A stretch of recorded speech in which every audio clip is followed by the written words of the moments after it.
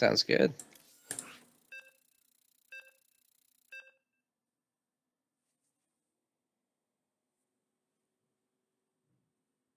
Master League opponent this time. Yep. For Florencio. That will be a Terran. So it is. Indeed it is. Take it away, Naka. In the north, we've got the Protoss Terran. Makes no sense, but it does. His opponent in the bottom left, the blue Terran, Sean. I love when people just use their first name as their ID. So I always think it's so funny. it's me, Sean. yeah. I was like, all right, yeah, I'll add you. So what's your name? Sean. No, I mean, but like, what's your, you know, what's your ID? It's Sean. Oh.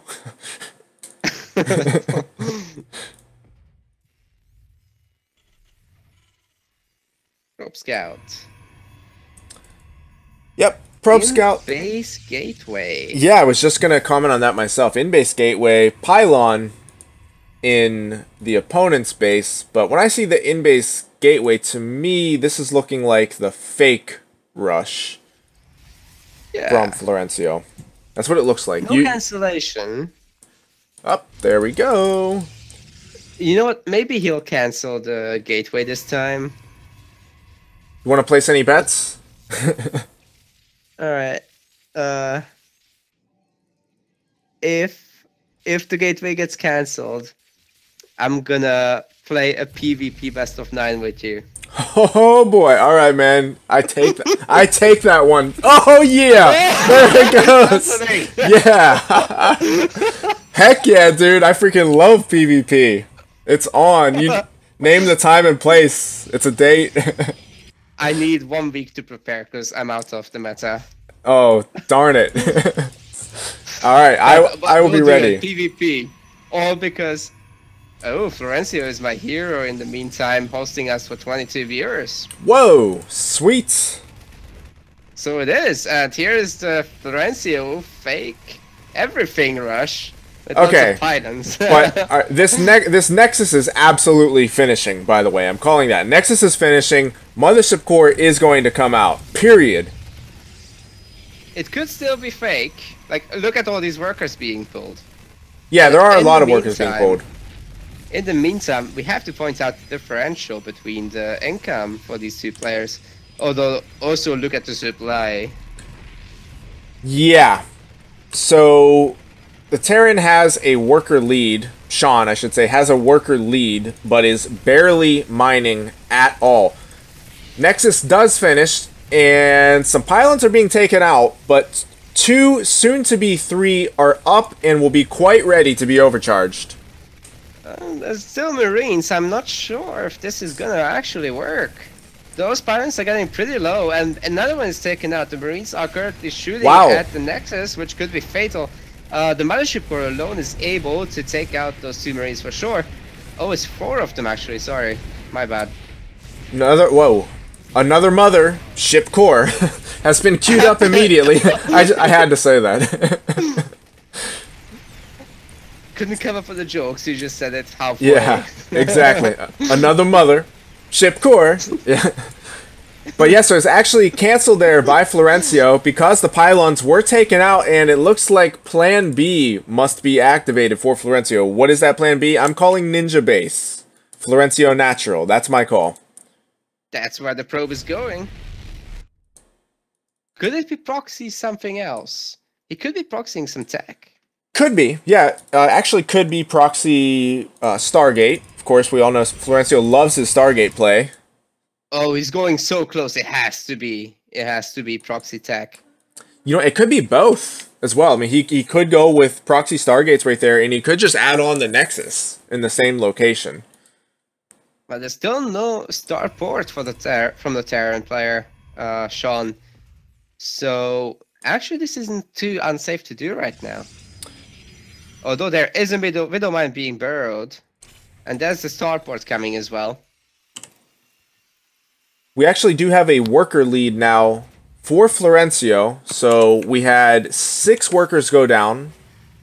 for Sean. So that one pylon did work then. Yeah, it really did because Sean pulled all of his SCVs into it. I think he should have just uh, ran all of them away. Oh, there is, by the way, this is uh, actually a bit of an intimidating force pushing across the map. One Cyclone, and we've got six Marines. I'm sorry, seven Marines. And the Cyclone is so strong against buildings. With that being said, though, there are three cannons waiting to greet him. So even with that yes. Cyclone, I don't think it's going to work. I think the problem with this push is simply the lack of high ground vision. Yeah, definitely. You have to take damage. So he does. Re- you were right. Uh, yeah. The ninja base is happening as well as the proxy tech. Yep. Fleet beacon going down right away. Do we even have any Stargate units yet? No, we don't. So we obviously, um, I was about to say we obviously have an in-gate Stargate. I think Florencio canceled that because I did, uh, I did see an in-base oh, st- Stargate go down earlier. two Stargates uh, in the proxy area. Yeah, he had a he threw one down right next to his main base before. I saw it going down, but yeah, he he canceled it. I just didn't catch when he canceled it. Sean had 600 plus APM for a moment. Very cool. I played some guy on ladder the other day who had like uh, he hit 1200 APM at one point. But how hit, do you even do that? I, I yeah I actually that's the thing.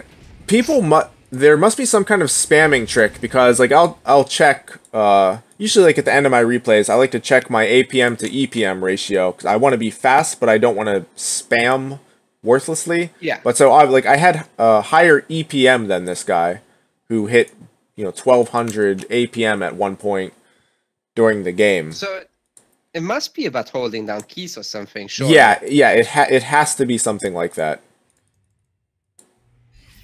Pretty sure you can do 600 as a human. yeah, sometimes during the battles I'll get up. Uh, I've, I've seen myself get into uh, like high 500s, might have hit 600 once during a battle, but anyway, this uh, this drop does come in to the main base. It's gonna pick off an assimilator. Surprisingly, there's no cannon in the mineral line for Florencio. Usually he has that. Yeah. Mothership core so, did recall to the ninja base, by the way. Yeah, there were also no pylons, so the mothership core couldn't defend this. Yeah, good point. There's no no real option to defend. With that being said, I know that Florencio. I don't. I don't know if he does this on purpose, but I know like he enjoys it. Watching, oh. watching his stream, he like he enjoys having the Terran think that they're taking him out completely, while he's right. getting up the the, the high tech units at the unscouted this could, base. This could be one of those moments where he goes, Oh no, I, I screwed up. What do I do? exactly. And he'll even I'm um, uh, Yeah, and then he pokes in like this. yeah. He oh he could actually get combat shields. If he focuses that, he can get combat shields. He's not gonna focus it though. The Widowmine is actually hitting the returning uh, interceptors. Could have done some really crazy friendly fire there, but he got a bit lucky with that. So I've seen that shielded marines are doing some work, but yeah, I think this is at the moment a bit too strong. It really is. The carriers will just melt bio. Uh, they have to be supported by both Widow Mines and Medivacs, and you have to be in the right position to take out the carriers. Two more carriers on the way. And it looks like the double medivac drop is coming back as well to try to help defend.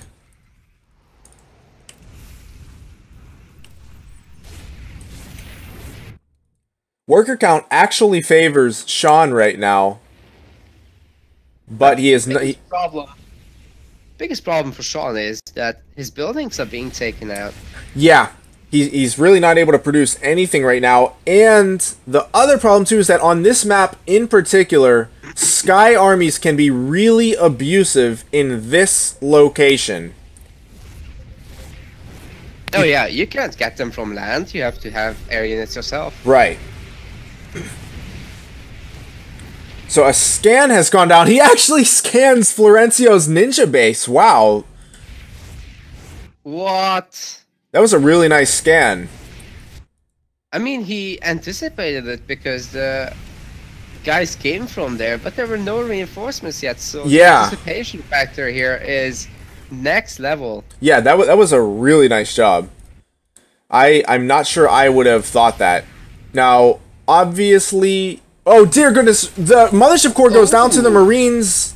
Carriers do get away. I, I was about to say so. Obviously, because of the fact that Florencio is not revealed, and Sean has taken out his main and seen that there was no base at the natural, he realizes that there is a ninja base somewhere. But I'm still not sure that I would have scanned that location on my first try. I, I probably would not have. I probably would have checked one of the corners. yeah. There are a lot of Marines out here.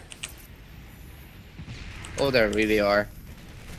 Four carriers in a Tempest against 34 Marines, but no medivacs. One carrier does go down. And actually, a lot of the interceptors just died.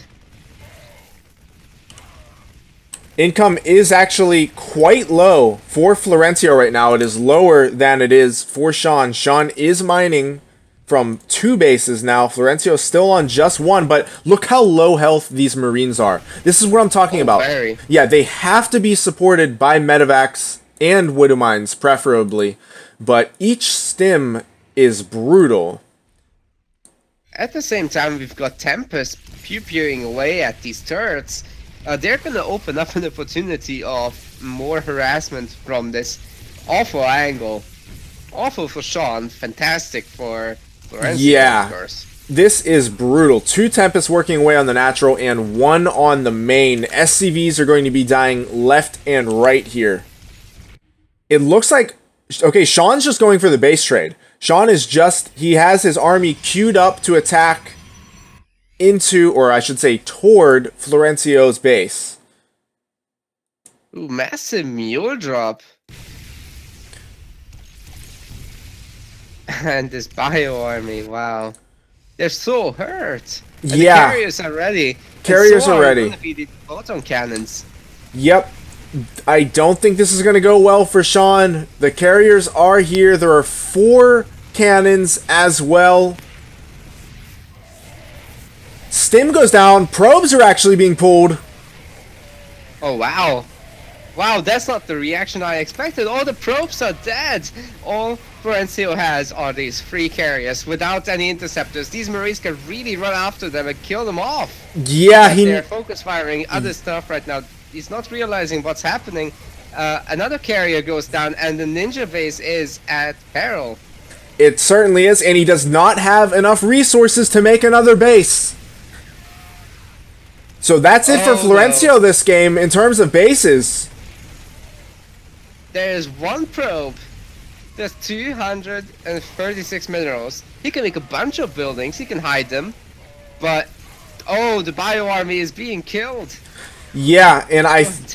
I think Sean is really going to regret not focusing the carriers when he had the chance. He was fighting the cannons. Florencio just barely got away, and now Florencio Oh. he's he's going to abuse positioning as much as possible. But at the same time, he does have to protect those buildings. So it's going to be interesting to see how he juggles this. With fully loaded carriers and so little marines, this is going to be extremely difficult. Although more marines are being made, Yeah. M- and More, Sean does have an income, and he can just sit back and defend. There's not going to be any income left for uh, for Florencio here, and every little interceptor lost is actually going to cut down on the resourcing. These Yep. interceptors are very finite and precious resource right now. So it's actually oh, uh, eight SCVs to one for Florencio. Of course, uh, Florencio's probe is not really going to be able to do much for the rest of this game now. Indeed, and that's the last of the interceptors that can be produced. That's it, there's no more. Once they're dead, the Tempests are the only firepower available. Yep, and Sean is just he's just pigeonholed here into his natural. I'll tell you what. No, it's it's very easy to second guess what someone's doing when you're observing. But I will say that with this gigantic mineral bank, Sean should be sending an SCV out on the map to throw down a ninja base. I agree, and he also should be making marines, but he's not. No, he's not. And Florencio is doing a really good job of keeping his army out of danger. He just keeps poking in and pulling back over the destructible rocks and that dead air space. It looks like the Marines are now heading over toward Florencio's remaining buildings, or at least some of them. He will still have to fight those cannons at some point. That's some very adventurous Marines there. They could be easily picked off. Yeah, and from the Terran perspective, the Terran has to stay out in the open here. He cannot go near any dead airspace or cliffs because Florencio will just perch right over top of them and fire down. They're looking for further bases, but Florencio is realizing this, and he's he's like, okay, I got nothing crucial there. Yeah, he's gonna around. He's gonna take out this uh, this orbital command. The orbital command goes down without a fight, and Sean he's not making any more SCVs either, which I, I really think he should with that mineral bank. He he should be spending as much as he can while he can so once this Protoss army shows up on his doorstep, he's going to be hard-pressed to do anything. The Marines do reach the buildings, but that's not all the Protoss player has. No. There's still the cannons up in the north. This is going to be a straight-up base trade, I think. This is going to be, or I should say, a base race. It's going to come down to who can kill the other's buildings faster. Oh no, he's ignoring the the interceptors. Yeah, oh, you're totally right about that. He went in just to kill the um, what was it, a, a, a oh, Tempest? The Tempest, yeah. Oh no. There's still the Marine Blob. Actually, I think this is winnable. It is, it is winnable, but at the same time, I think that like Florencio is just demonstrating superior decision making. Sean appears as though he does not know what to do. Like it, this is really evident in the fact that his marines oh, abandoned. The stem. The cannons are gonna take them. Yeah, the can. Eh, this is exactly what I'm talking about here. Sean is actually oh. killing his own units while Florencio is taking out his base. Oh my god. He's stimming again to kill a pylon and an assimilator. And without healing, he is literally killing his own units. Florencio did a great job in his base of pulling, of kiting Sean. Sean was not focusing the interceptors. Florencio abused that.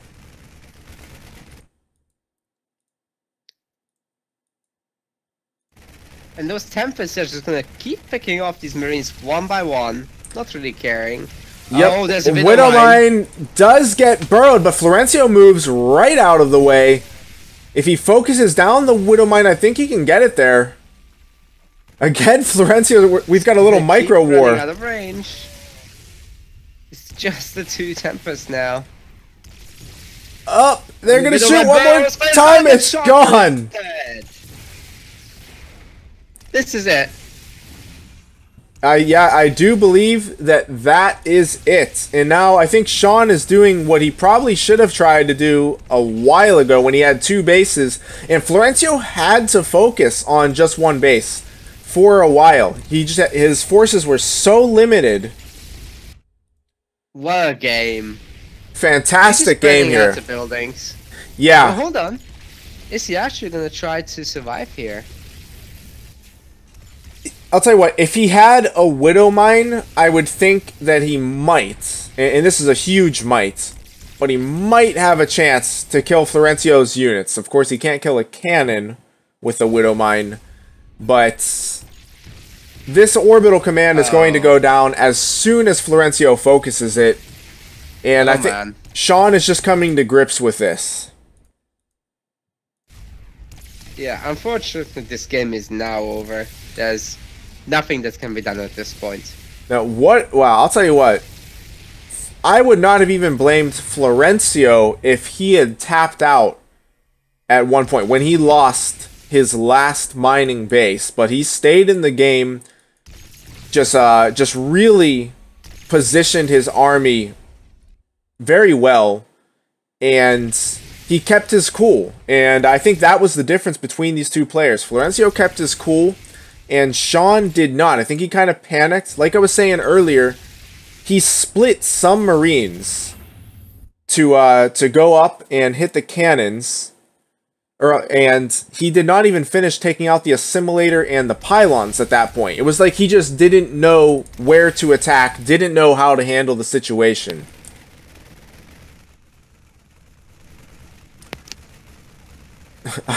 there is uh there's that, that I'm sorry, go ahead. All that is left is picking off these buildings. Yeah. There is one final Hail Mary for Sean. the Spock's then chat said, "Come on, Sean, you're better than this." um, but there's so there's one hail mary for Sean, and it's with his Marines. I think he has five. Yes, one of them is actually about to be picked off by a Tempest. So let's make that four.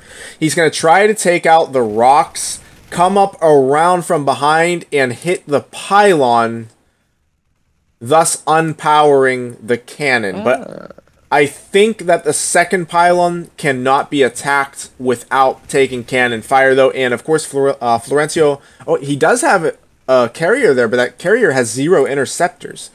So it'll be the Tempest, Indeed. though, that does the, the, the work on defense. The carrier is just a meat shield. Maybe it yeah. gets attack moved or something. Yeah.